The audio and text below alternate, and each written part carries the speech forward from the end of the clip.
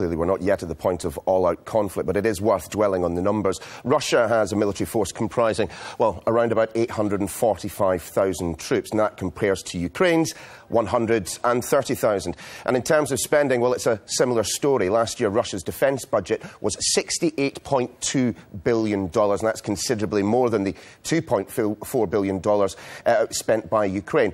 Although Ukraine's military might is not inconsiderable, it has far less strength in the Crimea region. Now, that's thanks to an agreement brokered in 2010. Russia can therefore station up to 161 aircraft at bases there and 388 warships and other vessels in Ukraine's waters. Now, before the crisis broke out, Russia already had 13,000 troops deployed in Ukraine. Niall, thank you. Well, uh, with us now is our Foreign Affairs Editor, Sam Kiley. We saw there the numbers. Um, no comparison, really, 130,000 to uh, 845,000. Is the reality now that Crimea is effectively under Russian control?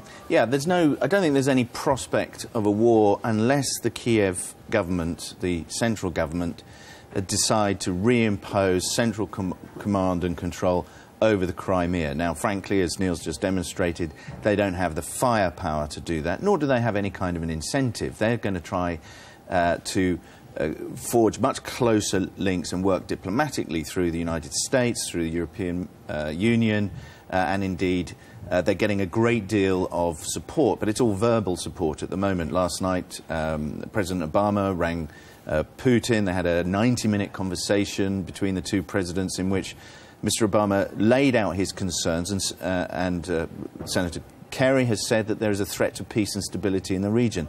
There's a lot of noise coming out of the West, but they don't have any real levers of power.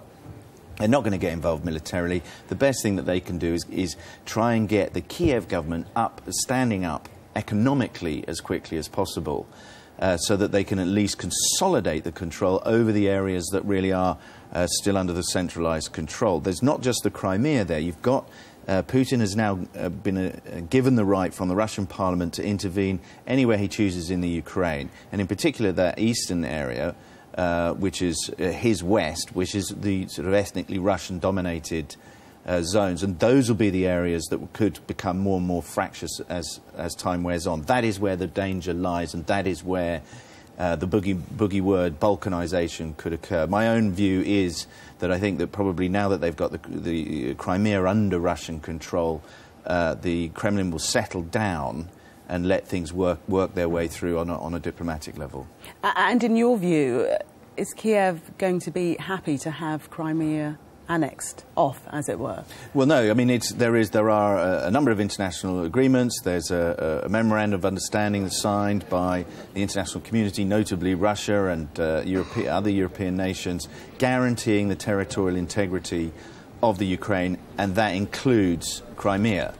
So what that means ultimately is that there is a legal responsibility both on Russia and on uh, the Kiev government's allies in maintaining that territorial integrity. But so long as it doesn't actually secede, the Russians can continue to argue that they're there uh, effectively as peacekeeping uh, forces and so on. It's not an easy argument to make, but it's not an argument that anybody's going to confront physically. They're going to try and confront it diplomatically. But the worst threat that's come up so far uh, is a sort of petulant uh, line coming out of the West that, that may snub the G8 summit in yes, uh, June in, in, in Sochi. Summer, yeah, uh, and Russia does have to convince that they're not breaking any international law. Stand for the moment. Thank you very much.